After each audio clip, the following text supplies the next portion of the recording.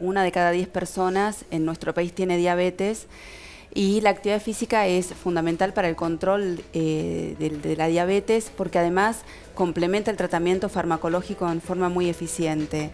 Eh, bueno, hoy vino Gaby, que, es paciente, y, bueno, ella es un, claro ejemplo de la importancia de la actividad física porque lo vivió en propia experiencia buscamos mucho, ¿no, Gaby? ¿Cuál fue la actividad física que, pudiera gustarle? Porque es muy importante eh, encontrar algo que les guste hacer. Cualquier cosa vale.